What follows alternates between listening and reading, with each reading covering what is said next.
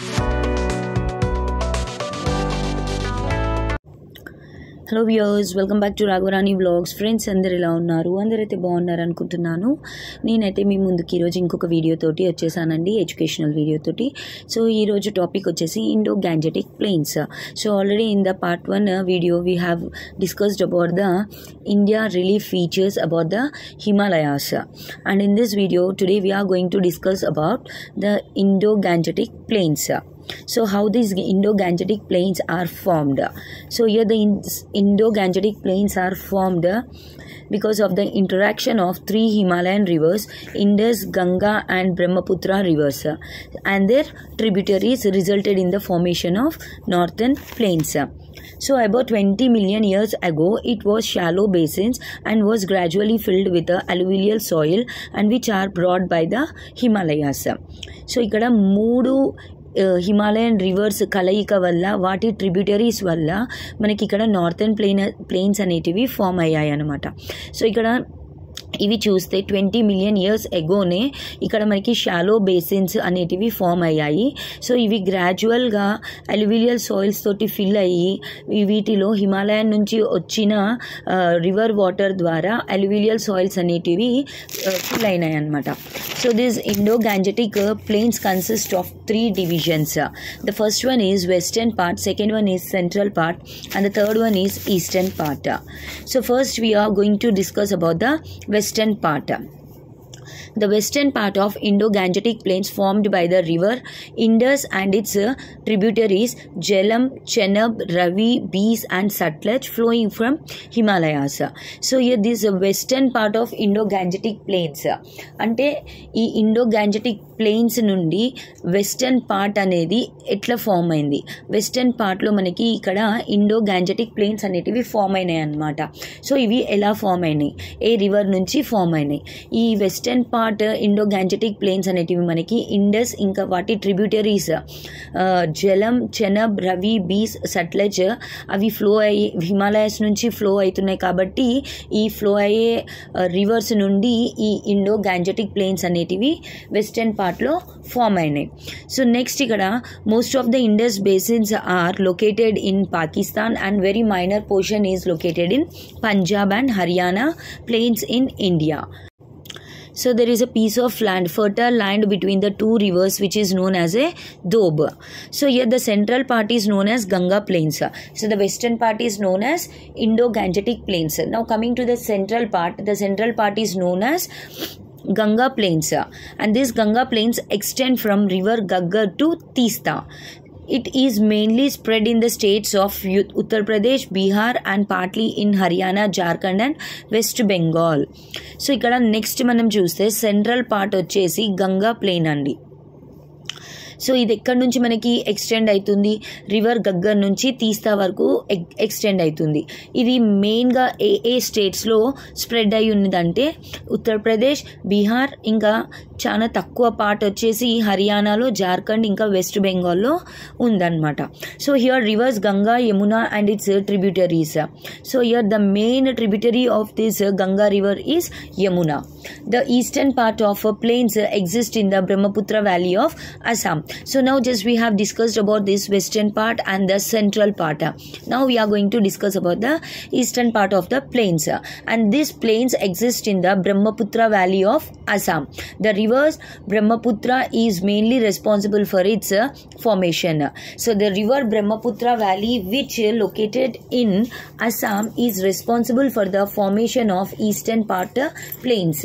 Here these himalayan rivers while they while they are flowing they deposit deposit gravel pebbles sediments in the narrow belts of 8 to 16 kilometers width parallel to foot hills of shivaliks and this feature is known as bhabbar so here these himalayas the himalayan rivers which are flowing and while they are flowing they deposit the gravel and the pebble sediments so ఇక్కడ ఈ Himalayan reverse ఎప్పుడైతే flow అవుతా ఉన్నాయో ఇవి flow అయ్యేటప్పుడు ఇవి gravel ఇంకా pebble సెగ్మెంట్స్ని డిపాజిట్ చేస్తాయన్నమాట సో ఇవి ఇలా డిపాజిట్ చేసుకుని ఇవి నారో బెల్స్ లాగా ఎయిట్ నుంచి సిక్స్టీన్ కిలోమీటర్స్ విడ్త్ తోటి ప్యారలల్గా శివలిక్స్కి ఫ్లో అవుతాయి.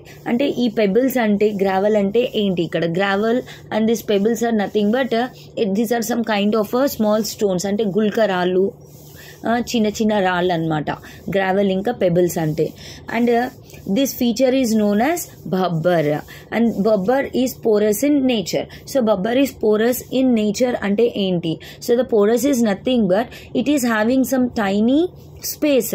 Through this space this uh, liquid or the air can be passed.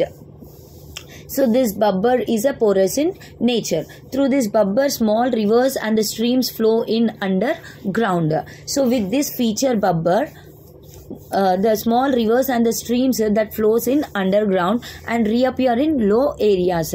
And again forms a marshy and the swampy region called Terai so ఇక్కడ ఏంటంటే ఈ feature Bhabar అనేది మనకి ఇక్కడ స్మాల్ రివర్స్ లాగా స్మాల్ స్ట్రీమ్స్ లాగా ఫ్లో అవుతాయి అనమాట అండర్ గ్రౌండ్లో సో ఇవి అండర్ గ్రౌండ్లో ఫ్లో అయ్యి ఎక్కడైతే లో ఏరియాస్ ఉంటాయో అక్కడ మళ్ళీ రీఅపియర్ అవుతాయి అంటే అక్కడ లో ఏరియాస్లోకి వచ్చే వరకు మళ్ళీ మనకి కనపడతాయి అన్నమాట సో ఇక్కడ కనపడి ఇవి ఏ రకంగా ఫామ్ అవుతున్నాయి మార్షీ ఇంకా స్వాంపీ రీజన్ కాల్డ్ టెరై అంటే the marshy is nothing but completely like lodged with water flooded water the land flooded with water filled with water and this region has a thick forest and a rich variety of uh, wildlife. And this terai region has a thick thick forest ఈ Terai reason ఏదైతే ఉందో ఈ reason కంప్లీట్గా thick forest తోటి ఉంటుంది. అలానే ఇక్కడ wild life అనేది ఎక్కువగా ఉంటుంది. And during the time of Indian partition most of the Terai zone has been cleared and used for agriculture operations అంటే మన ఇండియా అనేది ఒకప్పుడు పాకిస్తాన్ ఇండియా కలిసి ఉంటుండే కదా? మన ఇండియా పార్టీషన్ చేసినప్పుడు రెండు భాగాలుగా ఇండియా ఇంకా పాకిస్తాన్గా విడగొట్టినప్పుడు డివైడ్ చేసినప్పుడు ఈ టెరై జోన్ అనేది కంప్లీట్గా ఫారెస్ట్ ఫారెస్ట్ అనేది కంప్లీట్గా క్లియర్ చేసేసి ల్యాండ్ని ఈ ల్యాండ్ని అగ్రికల్చర్ ఆపరేషన్స్కి యూజ్ చేయడం జరిగింది. And this fertile fertile alluvial plains regions are found towards the south of the Terai region అంటే ఈ టెరై రీజన్కి దక్షిణం వైపు సౌత్ వైపు మనకి ఇక్కడ ఫర్టైల్ అలువిలియల్ ప్లెయిన్స్ అనేటివి కనిపిస్తాయి అన్నమాట so this is all about the Indo Gangetic plains and the three divisions of Indo Gangetic plains I hope now you all understand how these Indo Gangetic plains are formed and these divisions also western part central part and the eastern part of the Indo-Gan- Indo-Gangetic plains are formed. Now we are moving to the next topic called the Peninsular Plateau. And this Peninsular Plateau, which is also known as an Indian Plateau, and which is surrounded by three sides uh, water, one side land. So next మన topic ఇక్కడ peninsular plateau peninsular plateau అంటే మన Indian plateau అని కూడా అంటారు అనమాట so ఇక్కడ Indian plateau అంటే ఏంటి పెనెన్సులర్ ప్లాట్యూ అంటే ఏంటి పెనెన్సులా అంటే ఈ పెనెన్సులా త్రీ సైడ్స్ వాటర్ తోటి కవర్ అయి ఉంటుంది. వన్ సైడ్ ల్యాండ్ మాస్ ఉంటుంది అనమాట and it is mainly composed of old crystallines hard igneous and the metamorphic rocks అంటే ఈ ఈ పెనెన్సులర్ ప్లాట్యూ అనేది కంప్లీట్గా ఈ మెటమార్ఫిక్ రాక్స్ ఇంకా ఇగ్నిషియస్ రాక్స్ తోటి కవర్ అయి ఉంటుంది. అండ్ ఇక్కడ మనకి ఓల్డ్ క్రిస్టలిన్స్ అనేటివి కూడా ల- దొరుకుతాయి అన్నమాట అలానే ఇక్కడ metallic and non metallic mineral resources are also found in Indian plateau మన ఇండియన్ ప్లాట్యూలో ఇక్కడ మనకి మెటాలిక్ మరియు నాన్ మెటాలిక్ మినరల్ రిసోర్సెస్ కూడా చాలా సులువుగా లభ్యమవుతాయి. And it has a broad and shallow valleys with a rounded hills మన ఇండియన్ ప్లేనెన్సులాలో మనకి ఇక్కడ బ్రాడ్ ఇంకా వెడల్పు ఇంకా షాలో అంటే ఎక్కువ లోతు లేని లోయలు అనేటివి గుండ్రంగా ఉండే హీల్స్ ద్వారా హీల్స్ తోటి కూడుకుని ఉంటాయన్నమాట. So the southernmost tip of the Indian plateau is Kanyakumari so ఇక్కడ ఇండియన్ ప్లాట్యూకి సదర్న్ మోస్ట్ టిప్ అంటే సదర్న్ సౌతర్న్ పార్ట్లో ఆ టిప్ దగ్గర సదర్న్ టిప్లో మనకి ఇక్కడ కన్యాకుమారి అనేది ఉంటుంది. So the peninsula plateau consist of two broad divisions they are central highlands Malwa plateau and the Deccan plateau so ఇక్కడ మనకి పెనెన్సులా ప్లాట్యూ అనేది రెండు భాగాలుగా ఉందన్నమాట. సో విడదీయబడినది. ఒకటి వచ్చేసి సెంట్రల్ హైలాండ్స్ దాన్ని మాల్వా ప్లాట్యూ అని కూడా అంటాము. మరొకటి వచ్చేసి డెకెన్ ప్లాట్యూ. సో దీంట్లో ముందుగా మనము మాల్వా ప్లాట్యూ సెంట్రల్ హైలాండ్స్ కోసం మనం డిస్కస్ చేద్దాం. సో ఇక్కడ మనము ఫిజికల్ మ్యాప్ ఇండియా ఒక ఫిజికల్ మ్యాప్ పైన చూస్తే కనుక దానికి అడ్జసెంట్ సౌత్ సైడ్ ఇంజో ఇండో గ్యాంజెటిక్ ప్లేన్స్ ఉంటాయి. అలాగే నార్త్ వైపు నర్మదా రివర్ అనేది ఫ్లో అవుతుంది. ఇక్కడ మనము సెంట్రల్ ఐలాండ్స్ అనేటివి చూడొచ్చు అనమాట Okay, so on the physical map of India, adjacent to the south of uh, Gangetic Plains and the north of uh, river Narmada, we can see the uh, central islands. They are bordered by the Vindhyan ranges. So, ikkada ఈ central islands Vindhyan ranges తోటి border చేయబడినాయి. So this Malwa plateau on the west side and towards the east there is a Chota Nagpur plateau so ఈ Malwa ప్లాట్యూకి western సైడ్లో అలానే దానికి towards అంటే దానికి ఎదురుగా ఈస్ట్లో మనకి చోటా నాగ్పూర్ ప్లాట్యూ అనేది కనపడుతుంది. Comparing to this Gangetic plains this plateau region is dry అంటే ఇక్కడ మనకి ఈ గంగా ప్లేన్స్ అనేటివి ఉన్నాయి కదండి. ఈ ప్లేన్స్ తోటి మాల్వా ప్లాట్యూని కంపేర్ చేస్తే మనకి మాల్వా ప్లాట్యూ అనేది డ్రై రీజన్. ఎందుకంటే గంగా ప్లేన్స్ అనేటివి ఎప్పుడు కూడా పెరినియల్. సో ఇక్కడ పెరి రివర్స్ అనేటివి పెరినియల్ అనమాట అంటే ఎప్పుడు కూడా ఫ్లో అవుతూనే ఉంటాయి గంగా రివర్స్.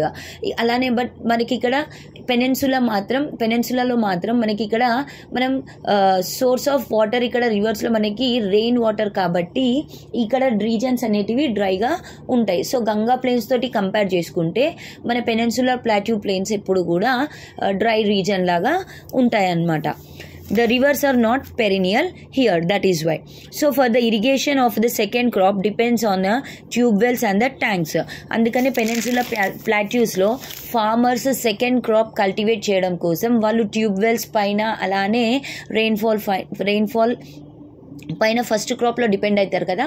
సో సెకండ్ క్రాప్కి వచ్చేసి వాళ్ళు ట్యూబ్ వెల్స్ ఇంకా బోర్వెల్స్ పైన డిపెండ్ అవుతారు అనమాట this Chotanagpur plateau's rich in mineral resources.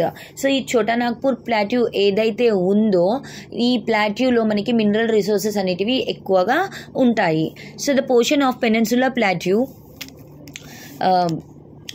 lying to the south of Narmada a triangular landmass is call the Deccan plateau so ఇక్కడ మనం ప్లెనెన్సులర్ ప్లాట్యూకి సౌత్ వైపు చూస్తే నర్మదా రివర్ ఉంది కదండి. అక్కడ మనకి ఒక ట్రాంగులర్ ల్యాండ్మాస్ కనిపిస్తుంది. అంటే ఒక ట్రాంగులర్ షేప్లో ఉన్న ల్యాండ్ అనేది ఉంటుంది. ఆ ల్యాండ్నే మనము డెకెన్ ప్లాట్యూ అంటున్నాము. And northern edge of Deccan plateau formed by the Satpura range so ఈ డెకెన్ ప్లాట్యూకి ఒక నార్థన్ పార్ట్ సత్పురా రేంజ్ వల్ల ఫామ్ అయిందనమాట Mahadev Maikal and Kaimur or Kaimur ranges forms the eastern edge of Deccan plateau so ఇక్కడ మనకి northern edge of Deccan plateau Satpura range వల్ల form అయ్యింది. అలానే మనం ఇక్కడ చూస్తే eastern edge of Deccan plateau వచ్చేసి మహదేవ్ మైకల్ అండ్ కైమూర్ రేంజెస్ వల్ల ఫామ్ అయింది Western Ghats Eastern Ghats and Nilgiris form western eastern and southern boundaries respectively so మనం ఆల్రెడీ ఇక్కడ వెస్టర్న్ ఘాట్స్ ఈస్టర్న్ ఘాట్స్ కోసం డిస్కస్ చేసాం కదా. సో ఇక్కడ ఈ వెస్టర్న్ ఘాట్స్ ఈస్టర్న్ ఘాట్స్ ఇంకా నిలిగిరీస్ ఎలా ఫామ్ అయినాయి? ఇవి western eastern and southern boundaries వల్ల ఫామ్ అయినాయి. Western Ghats lie parallel to the west coast and Western Ghats are higher than Eastern Ghats so ఇక్కడ మనము వెస్టర్న్ ఘాట్స్ని ఈస్టర్న్ ఘాట్స్ని కంపేర్ చేస్తే కనుక మనకి ఇక్కడ వెస్టర్న్ ఘాట్స్ అనేటివి చాలా ఎత్తులో ఉంటాయన్నమాట ఈస్టర్న్ ఘాట్స్ కంటే కూడా. So Western Ghats extends for sixteen hundred kilometres near Gudalur Nilgiris and join the Western Ghats and they rise to over a height of two thousand metres. So ఈ వెస్టర్న్ ఘాట్స్ అనేటివి దాదాపు మనకి పదహారు వందల కిలోమీటర్లు ఎక్స్టెండ్ అవుతాయి సో ఇలా extend అయ్యేటప్పుడు ఇక్కడ గుడాలూర్ అనే ఒక విలేజ్ దగ్గర నిలిగిరీస్ అనేటి నిలిగిరీస్ వెస్టర్న్ ఘాట్స్లో జాయిన్ అయ్యి ఇవి మనకి దాదాపుగా రెండు వేల మీటర్ల ఎత్తులాగా ఫామ్ అవుతాయి అన్నమాట. సో ఇక్కడ ఫేమస్ హిల్ స్టేషన్ ఉద్గమండలం అని చెప్పి అంటారు. ఉద్గమండలం పాపులర్గా దీన్ని ఊటీ అని కూడా అంటారు అనమాట సో ఇక్కడ ఇక్కడ ఈ ఉద్గమండలం ఊటీ రెండు కూడా ఒకటే అండి. So this Ooty is located in Nilgiris so ఇక్కడ Doddabetta with an elevation of two thousand six hundred and thirty seven metres is the highest peak in Western Ghats and the Western Ghats includes Palani Tamil Nadu Anaimalai cardamom Kerala hills Anaimudi 2695 meters elevation of Anaimalai hills is the highest peak in southern India. So ఇవన్నీ కూడా Western ఘాట్స్లో వచ్చే hills అన్నమాట. So next moving to the Eastern Ghats Eastern Ghats extend from Mahanadi valley in the north to Nilgiris in the south so Eastern Ghats అనేటివి ఎక్కడి నుంచి ఎక్కడికి extend అవుతున్నాయి? ఈస్టర్న్ ఘాట్స్ అనేటివి Mahanadi valley in the north అంటే north వైపు ఉన్న Mahanandi valley నుంచి సౌత్ వైపు ఉన్న నిలిగిరీస్ వరకు ఎక్స్టెండ్ అవుతున్నాయి. Eastern Ghats are not continuous rivers. The origin east in Western Ghats are Godavari Krishna and cut across plateau join in Bay of Bengal so ఈ eastern Ghats అనేటివి not continuous because these rivers are not perennial and these are rivers that flows from the Eastern Ghats is the are the rivers that origin in Western Ghats so ఇక్కడ Western Ghats నుంచి the reverse అంటే ఏ reverse మొదలుకుంటున్నాయి రి- గు- river Godavari river Krishna ఈ రెండు western Ghats నుంచి originate అవుతున్నాయి. So ఇవి కట్ అయ్యి like they cut across the plateau అంటే ప్లాట్యూస్ ద్వారా ఇవి కట్ అయ్యి వచ్చి బే ఆఫ్ బెంగాల్లో పడతాయి అన్నమాట అంటే కలుస్తాయి. సో ఇక్కడ ఈ రివర్స్ ఆరిజిన్ వచ్చేసి వెస్టర్న్ ఘాట్స్ నుంచి స్టార్ట్ అవుతుంది. స్టార్ట్ అయ్యి ఇవి ఫ్లో అయ్యి ప్లాట్యూస్ నుండి కట్ అయ్యి ఇవి వచ్చి బే ఆఫ్ బెంగాల్లో జాయిన్ అవుతాయి అన్నమాట so the average height of Eastern Ghats rarely exits nine hundred metres so రేర్గా ఈ ఈస్టర్న్ ఘాట్స్ని చూసుకుంటే వెస్టర్న్ ఘాట్స్కి ఎక్కువ హైట్లో వెస్టర్న్ ఘాట్స్ ఎక్కువ హైట్లో ఉంటాయి. బట్ ఈ ఈస్టర్న్ ఘాట్స్ చాలా రేర్గా చూస్తే ఇవి నైన్ హండ్రెడ్ మీటర్స్ వరకు మాత్రమే ఎక్స్టెండ్ అవుతాయి అన్నమాట. The highest peak in Eastern Ghat is Armakonda found at Chintapalli in Andhra Pradesh Western ఘాట్స్లో highest peak వచ్చేసి అరమకొండ ఇది చింతపల్లి విలేజ్ ఆంధ్రప్రదేశ్లో ఉంటుంది. And Nallamalas Velikondas Palakondas and Seshachala are some of the hilly tracks of Eastern Ghats so ఇప్పుడు నేను చెప్పిన examples like Nallamalas వెల్లికొండాస్ Palakondas Seshachala ఇవన్నీ కూడా uh, Eastern ఘాట్స్లో uh, ఒక ట్రాక్ లాగా ఫామ్ అయిన హిల్స్ అన్నమాట. So one of the remarkable feature of Indian peninsular plateau is black soils formed due to the volcano volcanic activity so ఇక్కడ ఈ ఇండియన్ పెనిన్సులార్లో ఒక చెప్పుకోదగిన ఫీచర్ ఏంటి అంటే మనకి ఇక్కడ బ్లాక్ సాయిల్ అనేది ఎక్కువగా ఉంటుంది. సో ఈ బ్లాక్ సాయిల్ అనేది ఎక్కడి నుండి వస్తుంది? మనకి వాల్కానిక్ యాక్టివిటీస్ నుంచి మనకి బ్లాక్ సాయిల్ అనేది ఎక్కువగా లభిస్తుంది అనమాట మన భూమి వచ్చేసి నల్ల మట్టి. ఓకే? సో ఇది వచ్చేసి మనకి వాల్కనో యాక్టివిటీ వల్ల మనకి ఇది ఒక చెప్పుకోదగిన విషయం అని చెప్పి అనుకోవచ్చు. సో ఇదే అండి పెనెన్సులా ప్లాట్యూ గురించి. I hope you all understand so if you are having any doubts uh, regarding this topic just you can comment. And uh, i hope you will be watching and this video will be helpful to all the students who are coming to 10th and who are going to write the exams in march.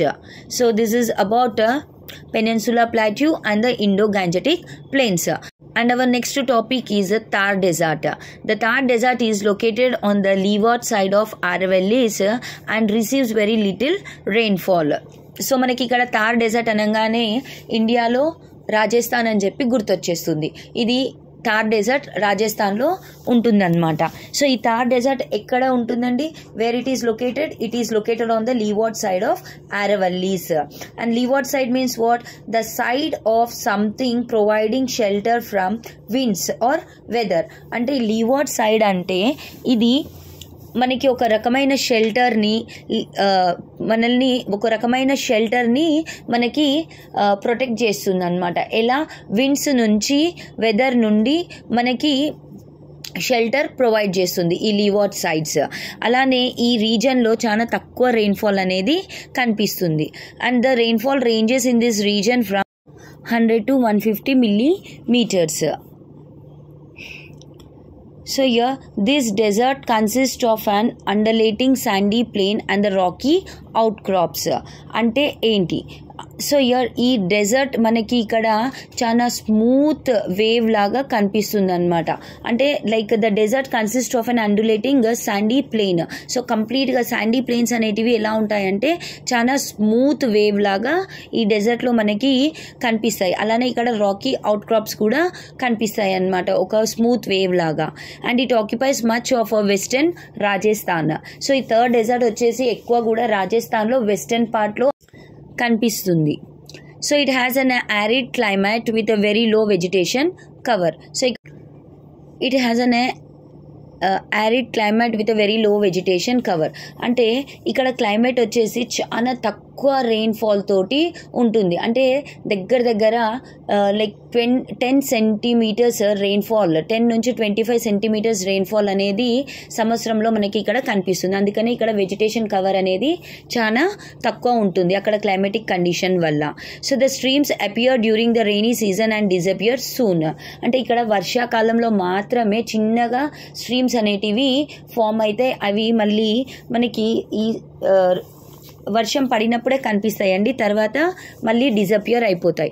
And the river only that flows in Rajasthan is river Luni అంటే రాజస్థాన్లో మనకి flow అయ్యే river ఒక్కటే దాని పేరు Luni river so the internal rivers fill in the into the lakes and not reach the sea so ఇక్కడ ఈ flow అయ్యే రివర్స్ వచ్చేసి ఇవి వచ్చేసి సీలోకి వెళ్ళి కలవండి ఎందుకంటే ఇక్కడ రెయిన్ఫాల్ అనేది చాలా తక్కువగా ఉంటుంది కాబట్టి ఈ రివర్స్ అప్పుడే వర్షం పడినప్పుడు స్ట్రీమ్స్ లాగా ఫామ్ అయ్యి ఇవి లేక్స్లోకి వెళ్ళి కలుస్తాయి తప్ప ఓషన్స్లోకి వెళ్ళి జాయిన్ అవ్వవు. So this is about the Thar desert in India southern part of this peninsular plateau is bordered by uh, narrow coastal strips. అంటే ఈ పెనెన్సులర్ ప్లాట్యూకి సదర్న్ పార్ట్లో మనకి ఇక్కడ నారో కోస్టల్ స్ట్రిప్స్ అనేటివి ఉంటాయి. సో ఇవి వచ్చేసి మనకి వెస్టర్న్ పార్ట్లో అరేబియన్ సీ దగ్గర నుండి అలానే eastern part Bay of Bengal నుండి కనిపిస్తాయి అన్నమాట so here the west coast starts from Rann of Kutch and ends at Kanyakumari so ఈ వెస్ట్ కోస్ట్ అనేది మనకి ఎక్కడి నుంచి స్టార్ట్ అవుతుంది? రాన్ ఆఫ్ కచ్ అండ్ ఇది వచ్చేసి కన్యాకుమారి అంటే సదర్న్ మోస్ట్ టిప్ ఆఫ్ ఈ పెనెన్సులా ప్లాట్యూ ఈజ్ కన్యాకుమారి అంటే ఇక్కడ ఎండ్ అవుతున్నాయి అన్నమాట west coast so it is narrower than the east coast this plain is uneven so ఈ ప్లేన్స్ ఏవైతే ఉన్నాయో ఇవి ఈవెన్గా ఉండవు. ఇవి చాలా నారోగా ఉంటాయి ఈస్టర్న్ కోస్ట్ తోటి కంపేర్ చేస్తే. And it is broken by hilly terrain so here this plains are broken by the hilly terrain so it can be divided into three parts they are Konkan coast, Canara coast, Malabar coast. This Konkan coast is the northern part and it touches Maharashtra and Goa. So ఈ Konkan Coast వచ్చేసి మనకి ఇక్కడ northern పార్ట్లో మహారాష్ట్రాని touch చేస్తుంది. ఇంకా గోవాని కూడా touch అయి ఉంటుంది. Next Canara coast and this is the middle part it includes coastal plains of Karnataka so ఈ కనరా కోస్ట్ ఏదైతే ఉందో ఇది వచ్చేసి సెంట్రల్ పార్ట్ అండి. ఈ సెంట్రల్ పార్ట్ వచ్చేసి um, Karnataka plains Karnataka coastal plains include అయ్యి ఉంటాయి అన్నమాట next is Malabar coast this southern part mostly in the state of Kerala so ఈ మలబార్ కోస్ట్ ఏదైతే ఉందో ఇది వచ్చేసి ఎక్కువగా కేరళలో ఉంటుందన్నమాట. ఎందుకంటే సదర్న్ పార్ట్లోనే కదా కేరళ ఉంటుంది తమిళనాడు కేరళ సో ఇది మలబార్ కోస్ట్ మనం ది ఎక్కువగా ఇది కేరళలో కనిపిస్తుంది. And bay of Bengal plains are wide here the large surface structure It stretches from Mahanandi in Odisha to Kaveri Delta in Tamil Nadu. And these plains are formed by Mahanandi, Godavari, Krishna, and Kaveri and are very fertile. And these coastal plains are called by different names locally. So, whatever the coastal uh, plains are there, and these are called by different names uh, by regionally or locally. Utkal coast in Odisha, Sirkar coast in Andhra Pradesh, Coromandel coast in Tamil Nadu. So like Indo Gangetic plains this deltas too are agriculturally developed so Indo Gangetic plains లాగా ఇక్కడ మనకి ఈ coastal plains కూడా peninsular ప్లాట్యూలో చాలా వరకు ఇవి agriculturally develop అయి ఉన్నాయి coastal zone enables rich fishing resources so ఇక్కడ మనకి కోస్టల్ జోన్స్ ఏవైతే ఉన్నాయో అంటే ఈ రివర్స్ ఇవన్నీ కూడా ఏవైతే ఉన్నాయో ఇందులో మనము మనకి ఇందులో చాలా ఫిషింగ్ అనేది చేసుకోగలిగిన చేసుకోగలిగినటువంటి ప్లేస్ అని చెప్పొచ్చు So here the examples are Chilka Lake in Odisha, Kolleru Lake in Andhra Pradesh and other important features of uh, coastal plains. And next one is a topic islands. So these islands are two groups. They are Andaman Nicobar Islands uh, st- stretched in Bay of Bengal and Lakshadweep Islands in Arabian Sea. So ఇక్కడ మనకి next topic ఇది islands అనమాట so ఇక్కడ islands వచ్చేసి మనకి two types ఒకటి Andaman and Nicobar islands ఇవి వచ్చేసి మనకి బే ఆఫ్ బెంగాల్ వైపు స్ట్రెచ్ స్ట్రెచ్ అయి ఉన్నాయి సో అలానే లక్షద్వీప్ ఐలాండ్స్ వచ్చేసి అరేబియన్ సీ వైపు ఉన్నాయన్నమాట so Andaman and Nicobar island is elevated portion of submerged mountain parts running from Myanmar mountain Arakan Yoma so ఈ అండమాన్ నికోబార్ ఐలాండ్స్ ఏవైతే ఉన్నాయో వాటి ఎలివేటెడ్ పోర్షన్ ఎక్కడి నుంచి వచ్చినాయంటే ఏదైతే సబ్మర్జ్ అంటే మునిగిపోయిన ఒక మౌంటైన్ పార్ట్ నుంచి వచ్చినాయన్నమాట. సో అది వచ్చేసి Myanmar mountain అర్కార్ Arka Yoma so in Andaman and Nicobar islands and the Barren islands are of volcanic origins. So ఇక్కడ మనకి ఈ అండమాన్ నికోబార్ ఐలాండ్స్లో మనకి వాల్కనోస్ ఆరిజిన్ అనేది ఉంటుందన్నమాట. So this Narcondam and the Barren islands are of volcanic volcanic origin. The southernmost tip of India is found in Nicobar Islands, Andaman and Nicobar Islands, and called it Indra Point, and which submerged during 2004 tsunami. So ఇక్కడ మనకి southern most టిప్పులో India యొక్క southern most టిప్లో మనకి ఇక్కడ Nicobar islands అనేటివి కనిపిస్తున్నాయి so దీన్ని మనం ఇందిరా పాయింట్ అని కూడా అంటాము ఎందుకంటే టూ థౌజండ్ ఫోర్లో సునామీ వచ్చినప్పుడు ఇది సబ్మర్జ్ అయిపోయింది. సో అప్పుడు ఇందిరాగాంధీ గారు ఈ ప్లేస్ని విజిట్ చేయడానికి వచ్చినందుకు ఈ సబ్మర్జ్ అయిన పాయింట్ని ఇంద్ర పాయింట్ అని అంటారు. So the Lakshadweep islands have a coral origins and geographic area in is thirty two square kilometres so ఇప్పుడు లక్షద్వీప్ ఐలాండ్స్కి వస్తే వీటికి కోరల్ ఆరిజిన్స్ అనేటివి ఇక్కడ ఉంటాయి. సో ఇది వచ్చేసి కంప్లీట్గా థర్టీ టూ స్క్వేర్ కిలోమీటర్స్ ఏరియాని కవర్ చేస్తుంది. And this group islands are famous for the flora and fauna so ఇక్కడ ఈ లక్షద్వీప్ ఐలాండ్స్ వచ్చేసి ఫ్లోరా అండ్ ఫౌనాకి చాలా చెప్పుకోదగిన ప్లేస్ అని చెప్పి అనుకోవచ్చు. So with this topic we have uh, uh, completed our lesson lesson 1 India relief features. So here by conclusion, in conclusion what do you understand? So it is important to know that there is a vast diversity in the landforms of India in which the people live. అంటే ఈ రోజు మనం ఇక్కడ ఇండియాలో ఎక్కడైతే బతుకుతున్నామో ఈ భూమి పైన మనకి ఇక్కడ వాస్ట్ డైవర్సిటీ అనేది ఉంది భూ ల్యాండ్ ఫామ్స్లో some places are irrigated by the mighty rivers flowing from the himalayas and some by the rain-fed uh, rivers from uh, western ghats and its uh, forests and many places are located in the river valley and other in mountains so with this topic we have completed our first lesson indian india relief features i hope you all understand. Uh, i hope this video will be helpful to all the students who are studying in 10th class. So this is a video and i'll be back again with the next topic next lesson. Until then bye bye see you. Take care